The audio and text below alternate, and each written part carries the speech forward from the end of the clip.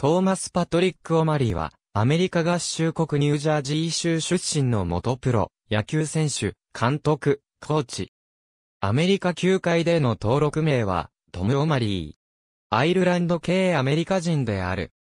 サンフランシスコジャイアンツ時代1982年5月8日に、サンフランシスコジャイアンツでメジャーデビューを果たし、以後9年間プレーするもののメジャーには定着できず、以後、シカゴホワイトソックス、ボルチモアオリオールズ、テキサスレンジャーズ、モントリオールエクスポズニューヨークメッツと複数の球団を渡り歩くも、1983年のシーズンを除いて、レギュラー選手としての成績は残せなかった。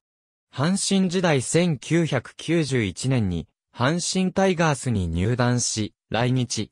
初の春季キャンプでは、川上哲司から、今年の外国人選手では一番素晴らしいと評価される。ビジターの試合で、球団カラーの黒ではなくグレーのアンダーシャツを着ていた。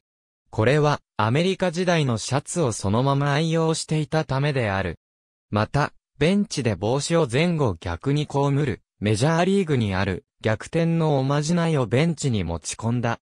翌1992年から亀山津村ナインが、オマリーに倣って、帽子を逆にする姿が恒例となった。1992年、前年オフに対応を解雇されたジム・パチョレックが、阪神に入団する。このパチョレックとのコンビで、新庄剛志、亀山津村若手選手と共に低迷していた、阪神の二位躍進に貢献。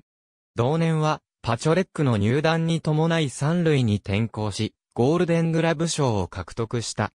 1993年は、オールスターゲーム第2戦で MVP を獲得した。ヒーローインタビューの時の、阪神ファンは、一番やー、を決まり文句とした。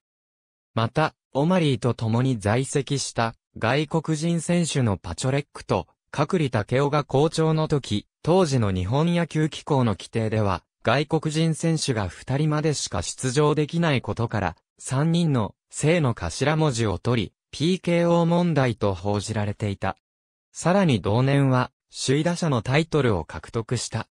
タイトル争いに際しては、横浜のロバート・ローズと最終戦まで競り合い、執念を見せた。10月20日終了時点で、ローズは2試合残して480打数157、安打で打率3271、オマリーは1試合残して432打数141安打で打率。3264であり、10月21日に、阪神が全日程を終了し、10月22日にダブルヘッダーで横浜が全日程を終了する予定だった。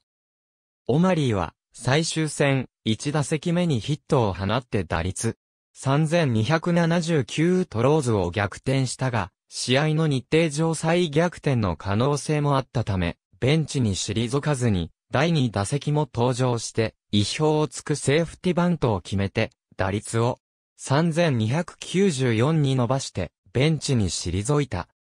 翌日、横浜は最終ダブルヘッダーを迎え、1試合目にローズは4、打数1安打で打率を3264に下げ、2試合目は再逆転を狙って1番打者で登場するも、2打席凡退して、再逆転がほぼ不可能になって、ベンチに退いたため、オマリーが首位打者を獲得した。オプスもリーグ1位だった。しかし、助っ人としては、本塁打が少ないことで球団の方針から外れ、1994年オフに自由契約となった。オマリー自身も、オールスターゲームで当時巨人監督の長島茂雄に対し、来年巨人と移籍をアピールするなど、阪神のフロントに不信感を募らせていた。阪神時代は、神戸の自宅に、当時100万円相当のファックス機器を設置し、アメリカに住む両親と毎日のように連絡を取り合っていた。阪神球団はオマリーをオリックスへ、金銭トレードに出す予定でいたが、本人の強い希望で、セリーグのヤクルトスワローズに移籍することが決まった。ヤクルト時代1994年オフ、オリックスブルーウェーブとの争奪戦の結果、12月17日にヤクルトスワローズへ入団が決まった。1995年は打率300に打点87を記録、自己最多の31本の本塁打を放ちチームのセントラルリーグ優勝に大きく貢献した。ヒーローインタビューの決め台詞も、ヤクルトファンの応援くださいに変わった。オリックスとの日本シリーズでも MVP に輝き、チームの日本一にも大きく貢献。この時の小林博士投手との14球にわたる対戦は、小林オマリーの14球として、同年日本シリーズの名場面として語り継がれている。同年のシーズン MVP を獲得。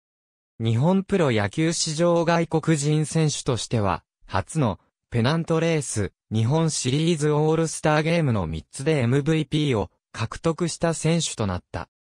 1996年、外国人選手初の6年連続打率3割を達成し、キャリアハイの打点を記録したが、同年オフに監督の野村克也が巨人を退団した落合博光の獲得を強く望んだため、契約上の問題が生じたとして10月24日にヤクルト対談が発表された。その後西武ライオンズが獲得調査との報道があったが実現せず、テキサスレンジャーズに招待選手としてキャンプ参加するが解雇されそのまま現役を引退。1998年から2001年までアメリカ独立リーグのニューアークベアーズ初代監督を務めた。1年目には選手としても2試合に出場している。2001年、阪神春季キャンプに、ヤクルト時代の監督でもあった野村を表敬訪問。その際に、外国人選手へのアドバイスが高く評価されて、翌年の阪神コーチ就任が濃厚となるが、野村の対談に伴い白紙に。しかし、その際の公約束のために、ベアーズ監督を辞任していたことから、翌2002年の春季キャンプの臨時打撃コーチとして、阪神に復帰。